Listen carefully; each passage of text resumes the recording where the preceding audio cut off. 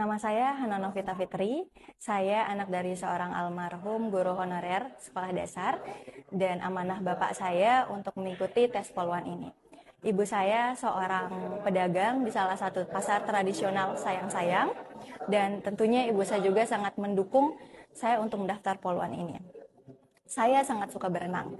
Tentunya itu sudah menjadi salah satu persiapan saya untuk mengikuti tes ini.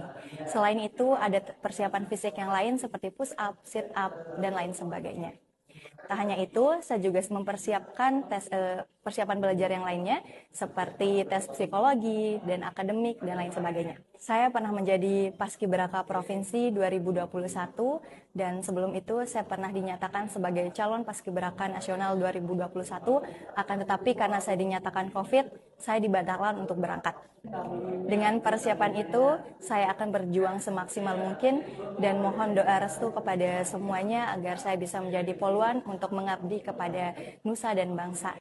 Dan saat ini saya sedang melakukan verifikasi di Polres Lombok Barat dan saya sangat diarahkan dan dibantu sehingga hal itu membuat saya melakukan verifikasi dengan sangat mudah dan prosesnya sangat cepat. Dan saya dan saya siap untuk mengikuti tes selanjutnya. Sarangnya. Baby I love you. Sarang heyo.